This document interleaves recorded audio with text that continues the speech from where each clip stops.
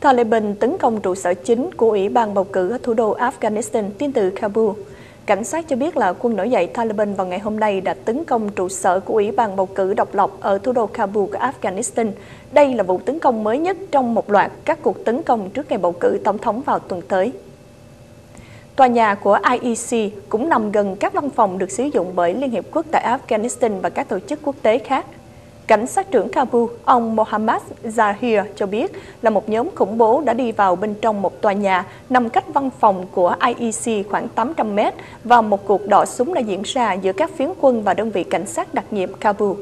Taliban đã nhận trách nhiệm về vụ tấn công vào ngày hôm nay là vụ tấn công thứ nhì vào một văn phòng của IEC tại thủ đô trong tuần này nhằm để phá hoại cuộc bầu cử vào ngày 5 tháng 4 mà họ gọi là giả tạo được Tây phương hậu thuẫn. Phát ngôn viên của IEC, ông Noor Mohammad Noor cho biết các nhân viên đã được an toàn và lực lượng an ninh Afghanistan đã kiểm soát được tòa nhà. Các nhân viên Liên Hợp Quốc tại tòa nhà gần IEC đã được đưa vào hầm trú ẩn. Chủ sở hữu của ngôi nhà nơi các tay súng Taliban ẩn nấp để tấn công về phía tòa nhà IEC nói rằng đã có bốn kẻ tấn công tự sát mặc trang phục buộc khoa phụ nữ.